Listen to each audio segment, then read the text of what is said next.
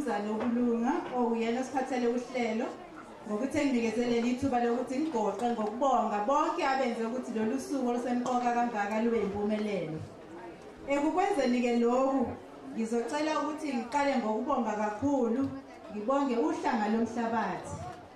Eh ngibonge ukuthi eh uhlanga lomhlabathi benondlunkulu baphumelelile siyazi ukuthi babhizi kangakanani.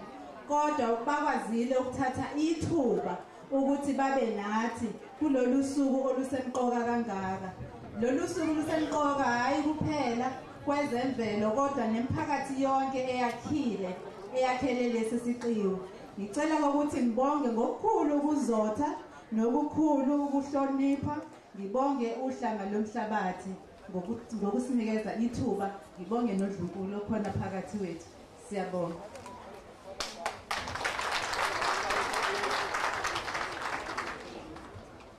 Eh ukubonga okokuqala ebengikudlulisa ngikudlulisela uhlanga lomhlabathi. Bengibonga kakhulu ukuthi uye wawuvula lo mcimbi omkhulu kangaka ngokuthi ayovula amatshe akhona laphayana amathathu esiwabonile.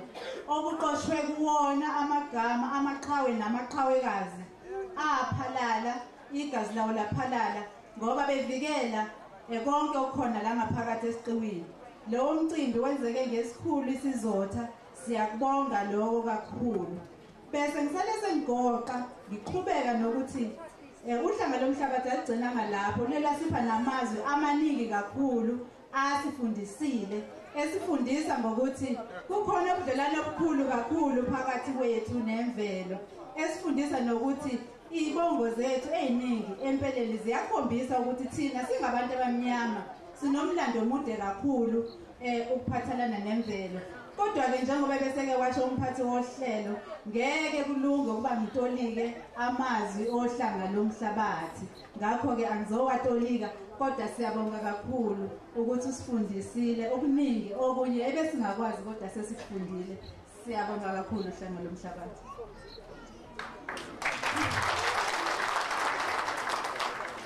Bese ngiqhubeka ngicela ukuthi ngibonge ungqongqoshe noma ungqongqoshe sephumile ngoba bekujahekile ukuthi ahambe ayoqhubeka nomsebenzi wesizwe. Kodwa siyabonga kakhulu sibonga siyezemvelo nebhodi lezemvelo.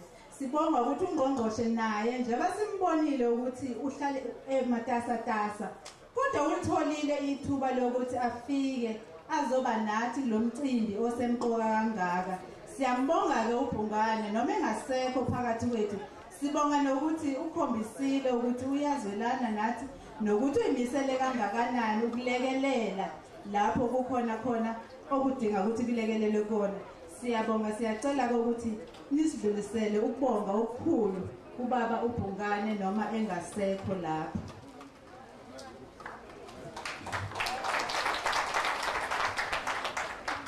Bese ngiqhubeka ngicela nokubonga amalunga akhona la eh omkhandlu ngibonga amalunga eportfolio committee. Phakathi kwethu kukhona umnumzane uMutli kukhona nomama uNtuli. Sicela ukubabonga kakhulu ngokuthi babe khona nathi kulomcimbi omkhulu kangaka esinawo lapha. Siyabonga kakhulu.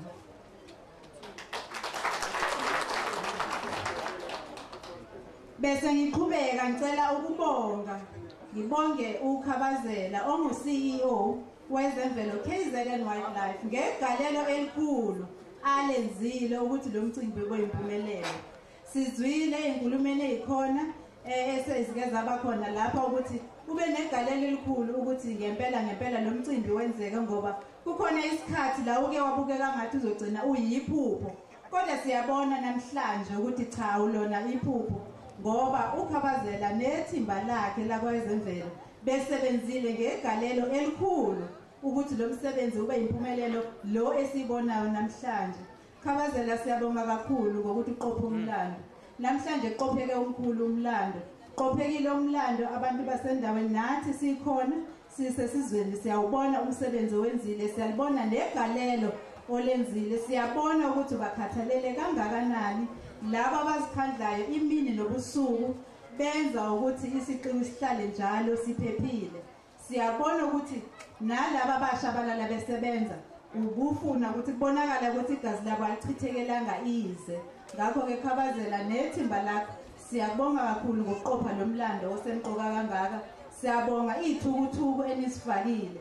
Uma ngibheka lana ngiyabona ithimba lakwezemvelo eh KZN Wildlife sibona ngeuniform ayikhombile umphathi ohlelo wathi siyayibona impela. Imbala yakhona isondelene nazo ihlahla impela isondelene nemvelo. Siyababona abathe chithisakala ngoba bafuna ukuthi kube nesiqiniseko ukuthi lo msebenzi owenzekayo lana wenzeke ngempumelelo.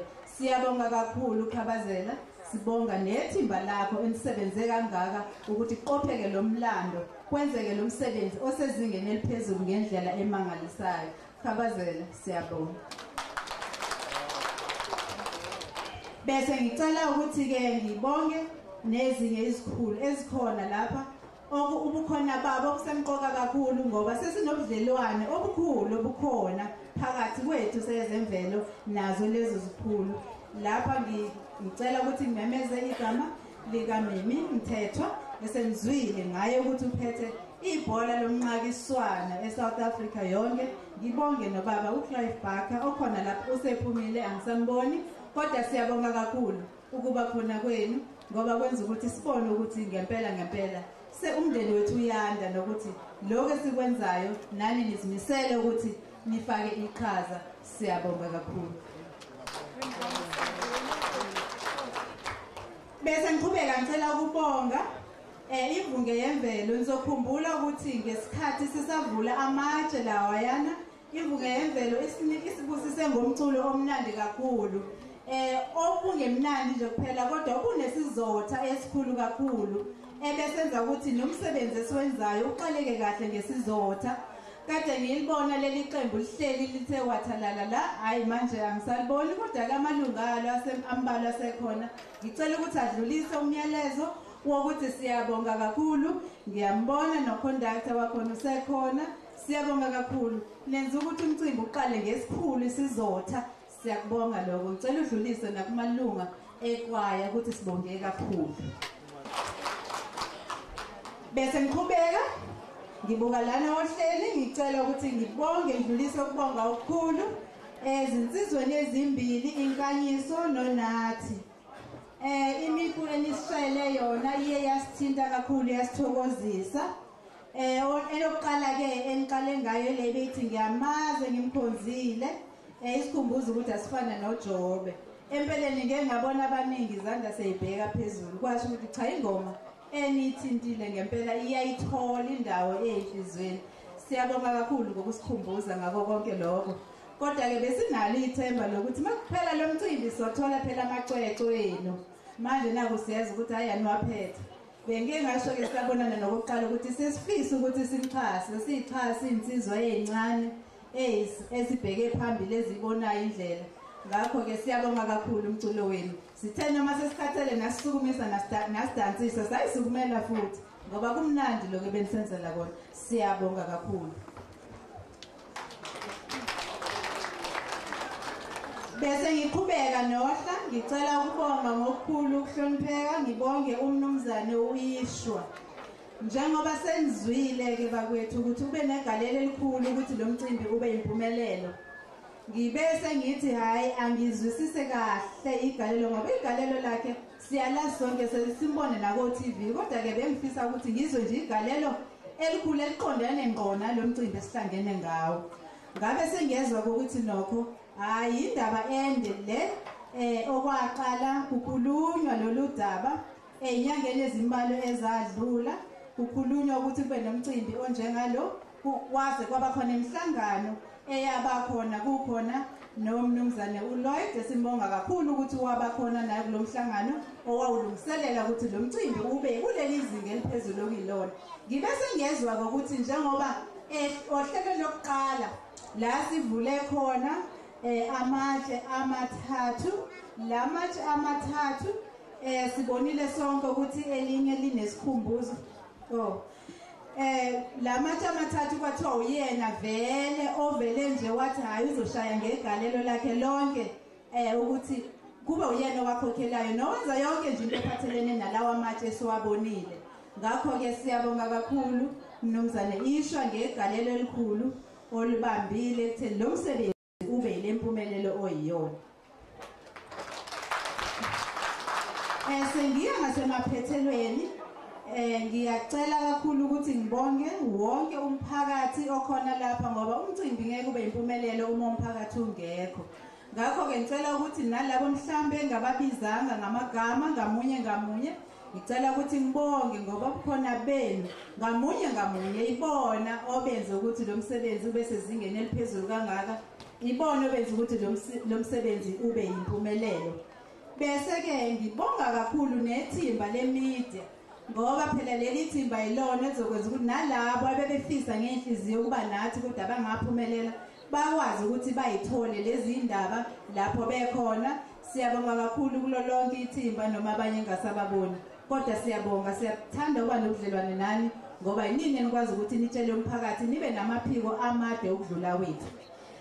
Eh egcineni-ke ngicela ukuthi ngibonge kakhulu umphathi wohlelo lwethu eh emva kwami umnumzane uNicky Bulunga ngokuphatha kwakhe uhlelo kamnandi kangaka. Isikhathi esiningi abaphathi bohlelo baye bangabongwa kodwa ngithi ke mina ngibonge ngoba cha ukwazile ukuphatha kahle lo mcimbi eh waba sezingeni eliphezulu. Wagcina naye sezama ukuthi asikhumbuze ukuthi akayena nje kuphela umphathi ohlelo kodwa futhi uyi food security expert.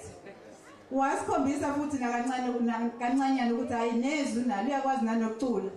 Uyakwazi futhi nokuqala izinto yabona abe imbongi kanjalo. Naku eseyiqala eseyibonga yena ukuthi hayi cha uyinsizwa ecishe yadliwa amabhubesi kodwa waphunyuka.